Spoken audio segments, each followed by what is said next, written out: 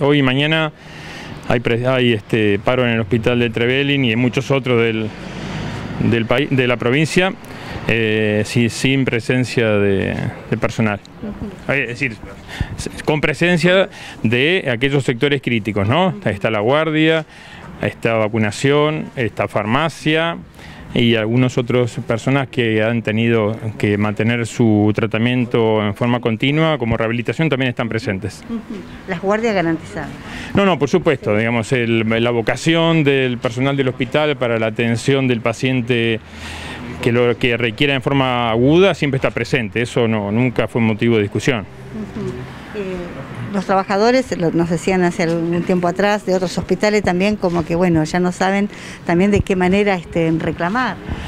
Es complicado para, para trabajadores que constituyen un sector crítico dentro de la atención de la comunidad, como es el caso salud, nada tan, tan delicado, ¿no?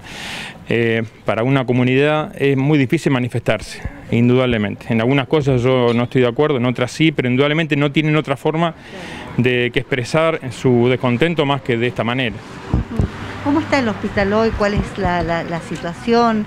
Eh, ¿Hay faltantes de algunos elementos que son importantes?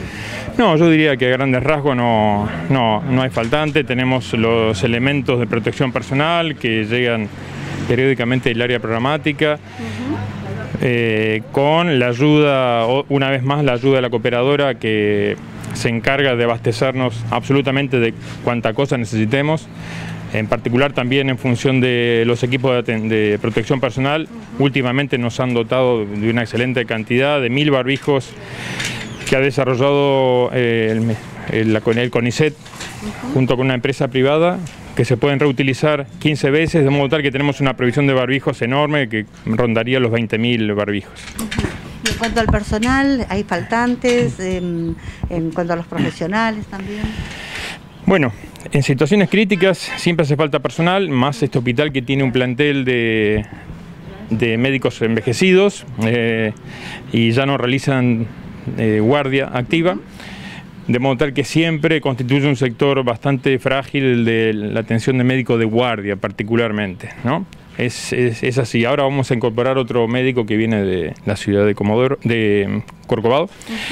Y ahí vamos a estar un poquito más aliviados, pero la situación del médico de guardia siempre es sumamente crítica, es muy delicada, variable y es una, una necesidad constante que tiene el hospital de este tipo de profesionales.